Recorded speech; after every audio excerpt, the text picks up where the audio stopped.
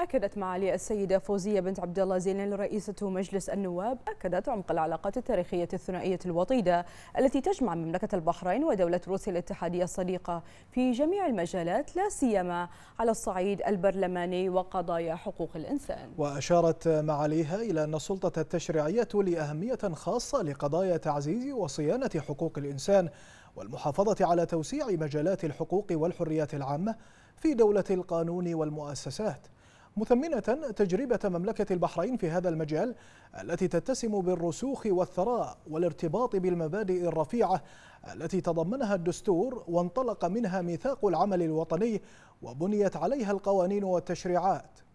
جاء ذلك خلال استقبال معاليها اليوم وفدا من المفوضية العليا لحقوق الإنسان بدولة روسيا الاتحادية وذلك بمناسبة الزيارة الرسمية لهم إلى مملكة البحرين بدعوة من المؤسسة الوطنية لحقوق الإنسان.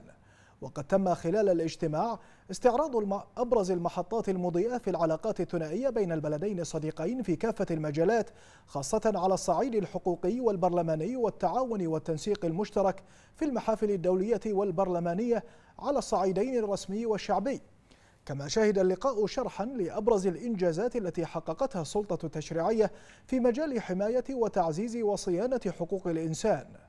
من جانبه وصف وفد المفوضية العليا لحقوق الإنسان بدولة روسيا الاتحادية وصف اللقاء بالمثمر والبناء مشيدا بتجربة مملكة البحرين الديمقراطية والبرلمانية بفضل المشروع الإصلاحي لجلالة الملك المفدى أيده الله وبدور مجلس النواب في رفض المنظومة الحقوقية في مملكة البحرين بالقوانين والتشريعات المعززة لثقافة حقوق الإنسان.